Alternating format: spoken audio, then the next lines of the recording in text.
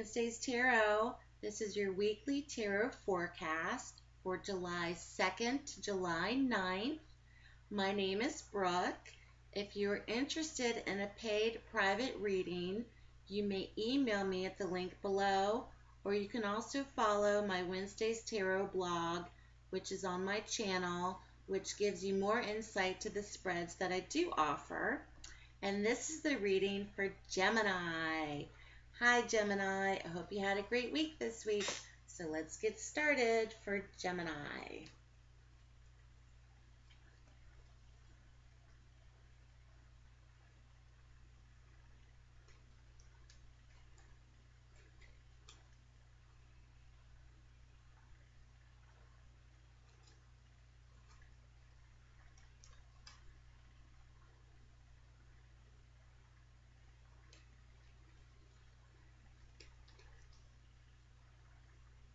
Let's check it out, Gemini.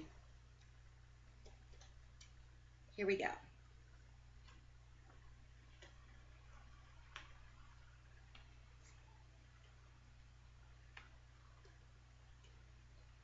Wow. Gemini, Gemini, Gemini, your spread is all about emotions this week. Emotions involving relationships. This even could represent serious relationships in terms of marriages out there or serious long term relationships that some of you Geminis are in.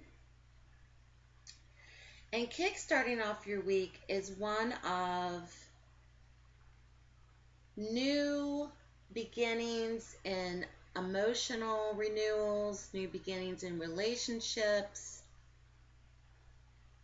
new beginnings, possibly in marriage, new beginnings with births.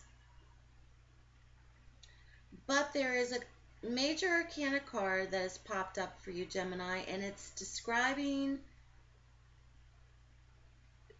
trusting your intuition. Not only for this week, but in the next month. So, Geminis, take into consideration this week trusting your gut instincts or following your inner guidance and trusting your intuition. There is a relationship that is one of, like I stated, long term or marriage where there's a lot of gift giving, very charitable, loving, and it's a mutual relationship that's already established with mutual respect, mutual admiration.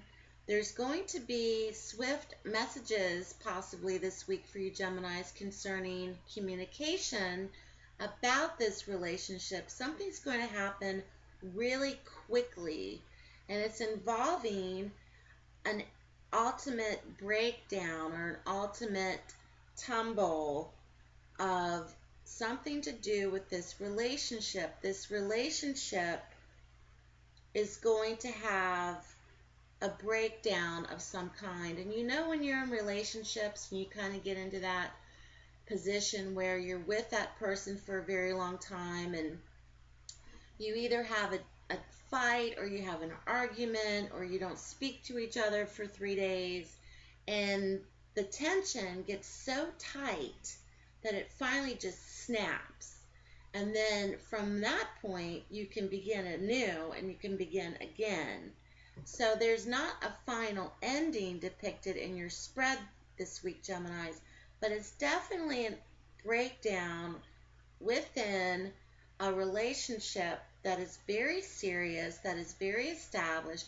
For so for the Geminis out there that are either married or in long-term partnerships or relationships, Trust your intuition this week.